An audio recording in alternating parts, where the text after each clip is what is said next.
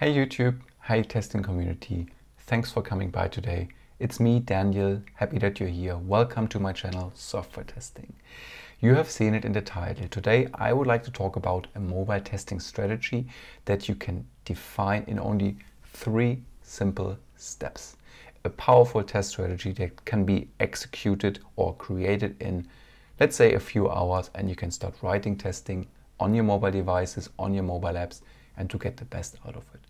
Without further ado, let's jump right into the slide deck.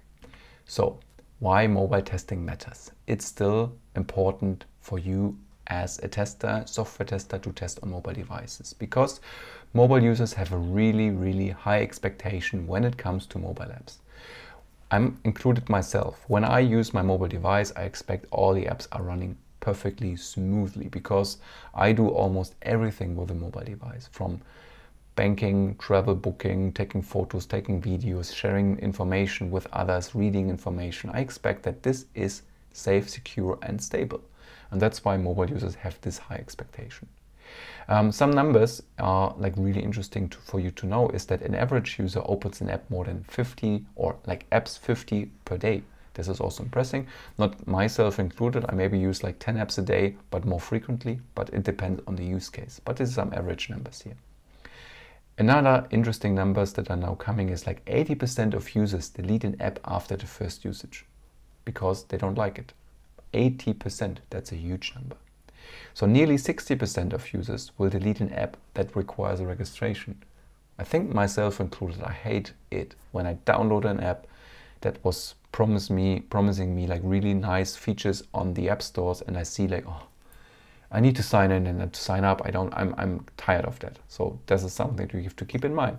First, show the users like what they can expect, give them a trial period, a trial access, whatever, and then ask them for registration. Um, users expect that an app loads under two seconds, also something that is really important. So speed matters and you have to test for that as well. And here are four top reasons for deleting an app. So the first one is a bad design.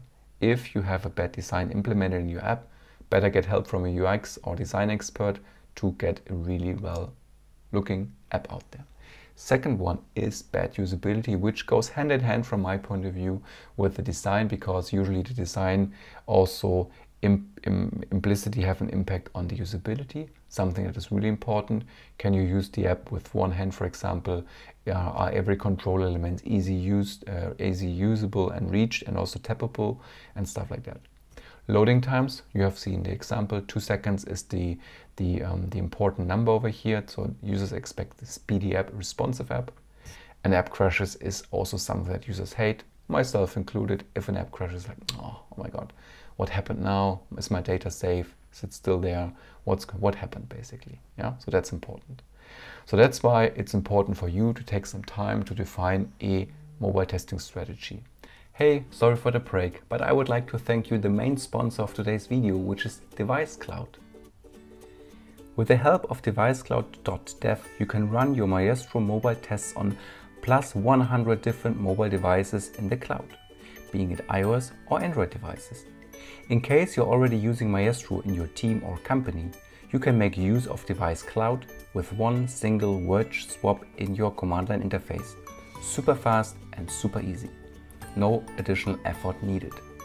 If you're already familiar with the Maestro Studio features, you will love the devicecloud.dev features too, because they add some additional features on top. You can run your Maestro scripts now on iPads or other tablets in the cloud. You can finally test your apps in landscape mode. You have access to the Google Play API to test your Android in-app purchase. And last but not least, you get all the features in real-time console. You have to check it out. If you haven't heard about devicecloud.dev, make sure to follow the links in the video description to speed up your mobile test automation journey today. And now back to the main video. And here are three steps that you can perform basically. Number one is, or not number one, but with the following three steps, you can already define a powerful test strategy. That's what I wanted to say. That's important. So really the most important thing when on the next slide is focus on what is most relevant for you because there is no single test strategy for mobile apps that you can say, okay, I use this strategy for mobile app A, then for mobile app B, and so forth. No, that's not possible. You have to do it for every app again and again and to revise it also from time to time. Yeah, that's what I want here. So step number one for your test strategy is key uh, know your customers and get most information about your customers. You have to know them like what kind of devices are they using. So because without this knowledge, you will most likely fail with testing and product development. And the good news is, in case you are a tester and you don't have access to those data, talk to your product manager. I bet he or she has this information available in best case. If not, do some competitor analysis or check the market, research, do some market research, get some market research data for you to identify, to narrow down your customer target base, to know and to learn about their habits, like uh, learn about insights about their usage patterns, right? So which devices are they using? Where are they using the devices and the apps? Are on the go while commuting, somewhere fancy in environment, outdoors, indoors, in office environments. Get all this information. It's important. And also, like, what other apps do they use? What are the competitors? What are the competitors doing? What are they doing good? Whether they're not uh, doing so good. Some information that you should gather in order to have a clear focus on your target customers. Yeah. As I said, talk to your product manager about this data. I bet he or she has it already, and he or she has to share it because it's so important information for a development team and for software testers. So that's um, the first step. So, and based on this information, you can get the right test devices, to narrow down the devices you have to test on. Because if you notice that you uh, your customers use only five devices, really uh, like 80% of the, the overall app usage is coming from five devices, hooray, get only those five devices. Yeah? Then you can also test in the correct environment. Depending on where users are using your product, is it on the go, outside, inside, in the office environment, you can go there as well and do some in the wild manual testing as well. Have a clear user focus is important because if you know what users expect, what they would like to do, what problem they would like to have solved and stuff like that, focus, focus, focus. It's important. So that's step number one, gather data of your customers. Step number two, define your requirements. So what are really your requirements for your mobile app? And that's again, pair up with your product manager to define the mobile app requirements read the documentation, read the acceptance criteria, read user stories, read epics, read the roadmap. Everything that you can get from product managers helps you as a software tester to focus and to really prepare for your testing activities. Yeah? Because if you know the main requirements of the mobile app, you can define your test scenarios and activities accordingly. Yeah? And we come to that in a second. Because possible requirements can be of a mobile app. Users must be able to register. Users must be able to log into the app. Users must be able to add items to a shopping cart. Users can choose between different payment methods. All this kind of information and requirements already triggers in my mind testing ideas. What I can do on a mobile app to test it and to get the best possible um, product out there for our customers. Yeah, because the requirements they will also help you to use risk-based testing, for example, to focus on the most um, relevant and most important areas for your product and then also to to get to not focus on the like the, the, the boring stuff not so important stuff. So that's why important get the requirements right know them and based on that knowledge you can get basically to the next step which is the step three is define your testing approach. Yeah? Something that you can do. So you should answer the following question for yourself and it's just an excerpt of questions that you should answer yourself like which part of the app can be automated on which layer? Because automation is still important for your mobile testing strategy yeah? We come to an example on the next slide. What are the parts that can be automated and need intensive or, uh, or need intensive manual testing? That's important. It's also an important question because some parts you can automate and can just leave it out to regression testing. Some parts are really hard to automate. Doesn't make sense to automate, so we need to do more manual testing. Something that you should be clear of. Um, are there any hardware-specific functions, features that be used by the app?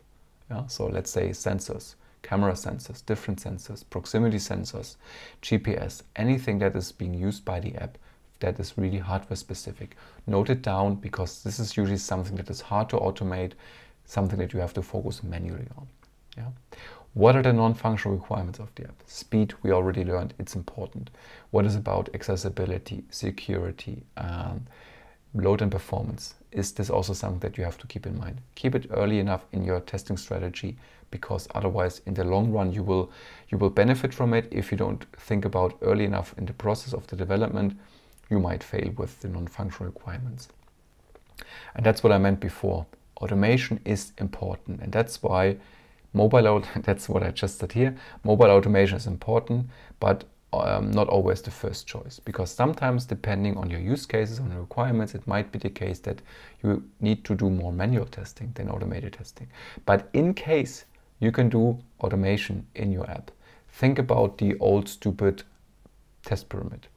So there are unit tests, server tests, UI tests. Don't don't just blindly. I've seen it. I've seen it many times that people just use mobile automation from an end-to-end perspective, and that they completely fail because it's a nightmare to maintain. It's long. It's it takes too much time to execute. It's really slow and ex expensive but really talk to developers like what are the things that we can test on a unit level on the app component level how can we do some integration testing what is with api testing try to automate as many many things as possible before the ui and then focus maybe on 5 to 10 user journeys throughout your app that you can automate from a from an ui perspective that are critical for your business critical for your users then you have like a really well set defined of automation in place and then automation will help you to free up your time to focus on more important topics as I mentioned before, hardware specific features or like testing on multiple devices at the same time requires more manual work. Yeah. And, and the second thing is you can use the mobile testing cheat sheet, which you can find for free in the video description down below on my blog, Adventures in QA. And this contains more than 20, I don't know, 23, 24 different mobile testing specific types and areas that you can focus on. Get the cheat sheet, download it for free, and then mark the areas that are really important for your app, and important for you, for your product, for your goals, and then test those aspects accordingly on the mobile app from a manual approach. And this will help you to really focus on the most important things in your strategy and also for your mobile application. Yeah. And last but not least, think about the non-functional requirements from day zero.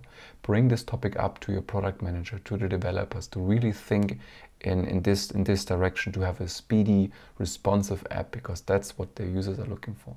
Keep it in mind, please. And last but not least, take your time in defining the mobile app strategy, right?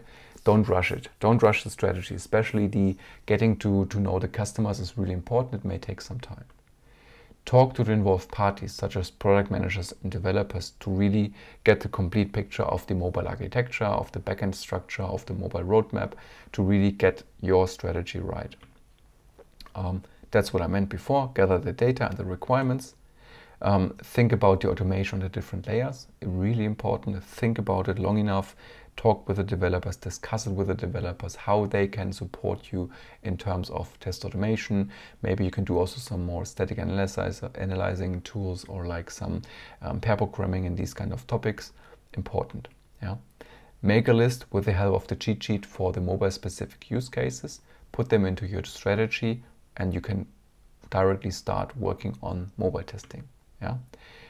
To be honest, don't write long strategy papers. Yeah, you can use a Miro board or any collaboration tool. Use a mind map tool to write down all your features that you have implemented already in your product. Then use some some some color coding. What what is automated? What needs manual testing?